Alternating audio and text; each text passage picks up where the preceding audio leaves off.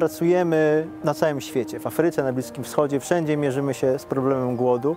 Natomiast głód, niedożywienie to nie tylko problem tych dalekich krajów, ale to także e, problem naszych sąsiadów, tych, e, którzy żyją e, razem z nami, którzy żyją obok nas.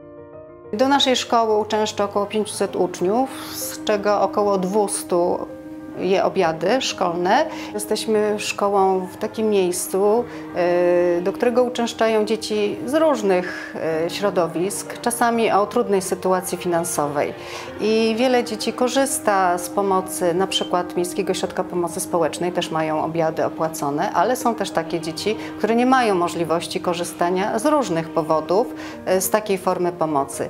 Trzeci rok jesteśmy w programie Pajacyk. Szkoła jako placówka nie ma możliwości zafundowania dzieciom obiadów w żaden sposób, jedynie tylko poprzez skorzystanie z pomocy stowarzyszeń, fundacji czy jakichś prywatnych sponsorów. Dzieci, które korzystają z takiej formy pomocy w żaden sposób nie są e, naznaczone. Nikt nie wie, że te dzieci korzystają z dofinansowania, bo jedzą takie same obiady jak każde inne dziecko i no tak naprawdę nikt nie wie, kto za ten obiad dla dziecka płaci. Współpracujemy z Polską Akcją Humanitarną w Polsce od 2016 roku i od tego czasu zapraszamy naszych klientów do wspólnego wspierania inicjatywy poprzez zakup świątecznej karty podarunkowej.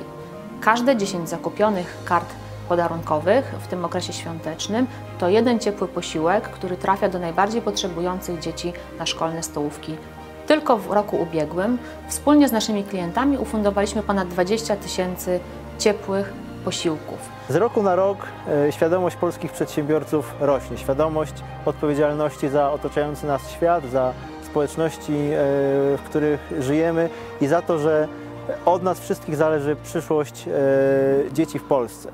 Bez prawidłowego odżywiania nie ma prawidłowego rozwoju dzieci, a bez prawidłowego rozwoju dzieci nie poradzą sobie e, w przyszłości. To nasz wspólny obowiązek. Szczególnie w tym okresie, kiedy doceniamy naszych pracowników, kiedy dziękujemy im za cały rok i całoroczne zaangażowanie i wysiłek, ważne jest, żeby dać coś więcej, dać jeszcze odrobinę serca dla tych, którzy szczególnie tego potrzebują. W tym miejscu chcę szczególnie podziękować naszym klientom za wybór kart z pajacykiem, dzięki którym ta inicjatywa tak pięknie się rozwija i wspólnie możemy nieść pomoc tym najbardziej potrzebującym.